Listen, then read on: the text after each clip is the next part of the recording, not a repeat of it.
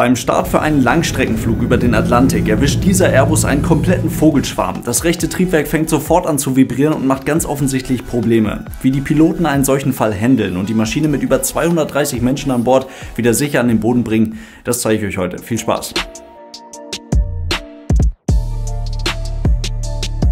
Und damit hallo und ganz herzlich willkommen. Ich hoffe, es geht euch gut. Das Flugzeug, was wir dort im Video sehen, ist ein Airbus A330-300 der Aer Lingus. Wir sehen die Maschine beim Start in Dublin für einen knapp 8 Stunden langen Flug nach Chicago. An Bord befinden sich 237 Leute und bei recht strammem Wind beginnt der Airbus auf der Startbahn 28 rechts in westliche Richtung mit dem Startlauf. Während das Flugzeug dann die Nase anhebt, also mitten in der Rotation unmittelbar vor dem Abheben, erwischt die Maschine einen ganzen Vogelschwarm, so wie es aussieht Tauben. Es kommt zu mehreren Bird Strikes. Gut erkennbar auch an der Tragflächenvorderkante. Das rechte Triebwerk des Airbus, welches gerade nahezu unter Volllast läuft, wird getroffen, offensichtlich beschädigt, fällt jedoch nicht aus. Stattdessen verändert sich gut hörbar der Ton, den das Triebwerk macht und es fängt ziemlich stark an zu vibrieren.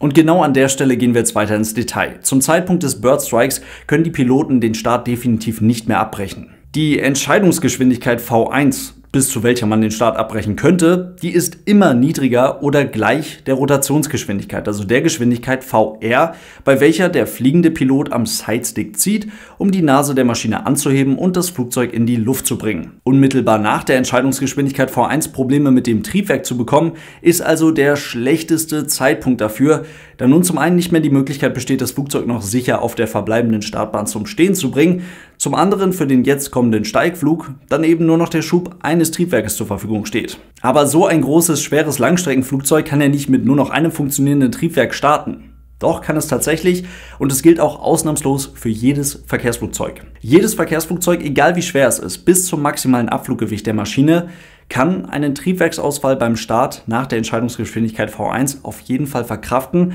kann dann noch sicher abheben, sicher steigen, sicher fliegen und damit dann auch sicher wieder landen. Das gehört zu den Kriterien dazu, die ein Verkehrsflugzeug erfüllen muss, bevor es die Zertifizierung der Luftfahrtbehörden bekommt. Im Detail steckt dahinter natürlich eine ganze Menge mehr oder weniger komplizierte Mathematik. Das hier auszurollen würde uns jetzt auch nicht wirklich weiterbringen. Es reicht uns erst einmal die Info, dass wir als Piloten vor jedem einzelnen Start mit unserem Flugzeug eine Performance-Berechnung durchführen. Bei dieser kommt dann raus, dass das Flugzeug auch bei einem Triebwerksausfall zum schlechtesten Zeitpunkt Einfach gesagt, noch sicher bei trockener Bahn in mindestens 35 Fuß über den Flughafenzaun kommt, bei nasser Bahn in mindestens 15 Fuß. Das sind gute 10 bzw. knappe 5 Meter. Keine wirklich schöne Vorstellung, dass man mit so wenig Höhe über den Flughafenzaun schrubbt, aber es ist auch wirklich nur das absolute Minimum. Und genauso gibt es auch für den darauffolgenden Steigflug einen sogenannten Minimum-Climb-Gradienten, der erfüllt werden muss.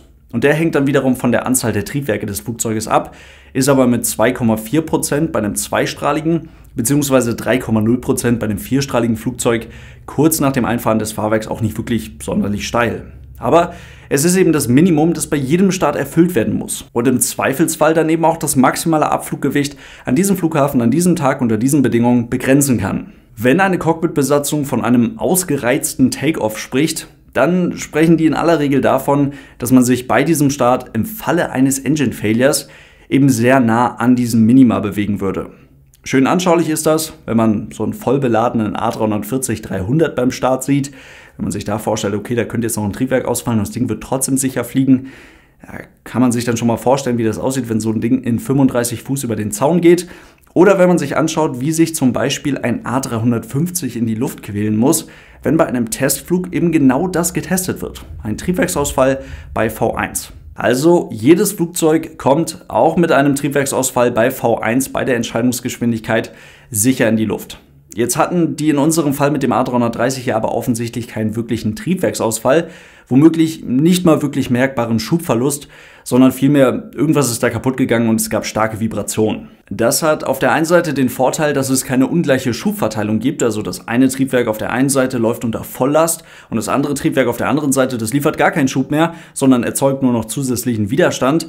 Das erzeugt ein Drehmoment um die Hochachse und macht so eine Rotation ziemlich anspruchsvoll. Dazu kommt noch, dass so ein Airbus mit anderthalb funktionierenden Triebwerken natürlich noch sehr viel besser vom Boden wegkommt als mit nur noch einem funktionierenden Triebwerk. Aber auf der anderen Seite macht es diesen Fehler auch irgendwie kompliziert. Es ist schwer nachvollziehbar, was da genau kaputt gegangen ist, was genau passiert ist und es ist vor allem nicht wirklich berechenbar, wie lange das angeschlagene Triebwerk noch durchhält. Deswegen wird dieser Vorfall von den Piloten auch erst einmal abgearbeitet wie ein Engine Failure, was hier zu einem Mayday und einer Luftnotlage führt. Und vielleicht wundert sich jetzt der ein oder andere, wir haben die den Fehler denn so schnell nach dem Start abgearbeitet, das geht ja eigentlich gar nicht.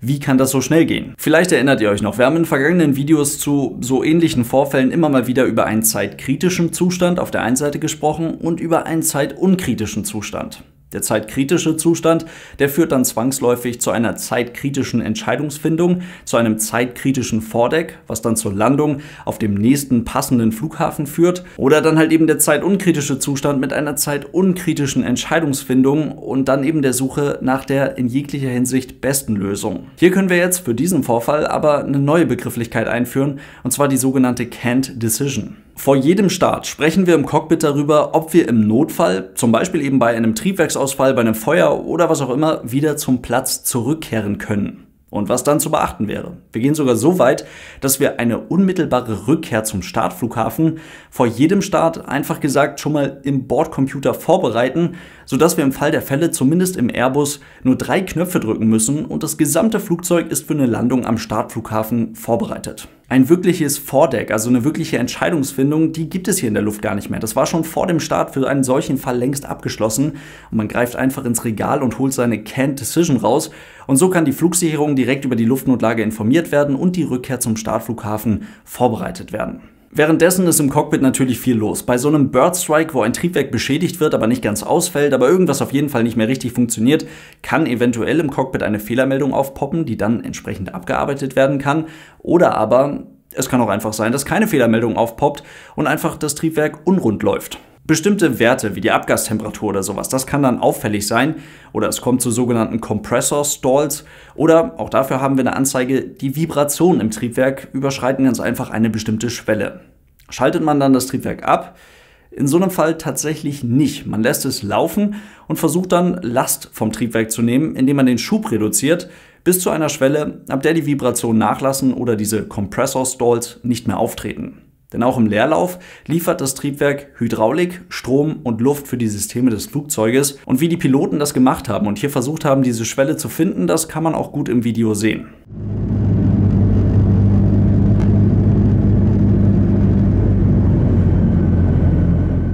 Auf den Aufnahmen ist dann auch noch schön zu erkennen, wie die Crew die Flugsicherung einfach nur noch über ihr Vorhaben informiert. Also nicht mehr um Erlaubnis fragt, bestimmte Steuerkurse oder Höhen fliegen zu dürfen, sondern dies ganz einfach tut und die Info darüber an die Lotsen weitergibt. Uh,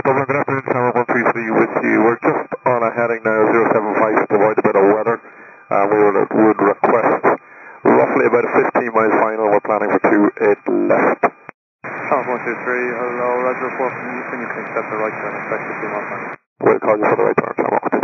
Alle beteiligten Lotsen rund um Dublin wurden in der Zwischenzeit über den Vorfall informiert und schaufeln diesem A330 jetzt konsequent den Weg frei, bringen andere Maschinen in Warteschleifen und machen den Flughafen mit der dazugehörigen Feuerwehr fertig für die Landung. Die Piloten haben aus fliegerischer Sicht jetzt eigentlich nur noch eine Herausforderung vor sich, und zwar eine sogenannte Overweight Landing.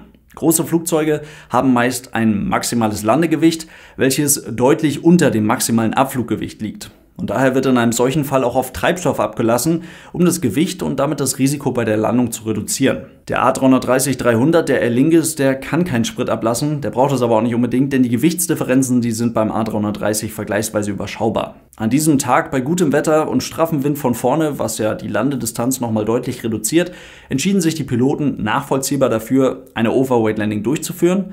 Und es wurde sogar das Mayday zurückgenommen auf ein Pan, Pan, Pan, also auf eine reine Dringlichkeitsmeldung. And uh, Dublin Shamrock 123, uh, we'd like to declare Pan, Pan, Pan, Pan, Pan, Pan. We are over max landing with uh, for landing, so use full length of the runway, and if you can ask just to pay attention to the brakes after landing. Die Maschine wurde sauber gelandet, die gesamte 2600 Meter lange Bahn genutzt.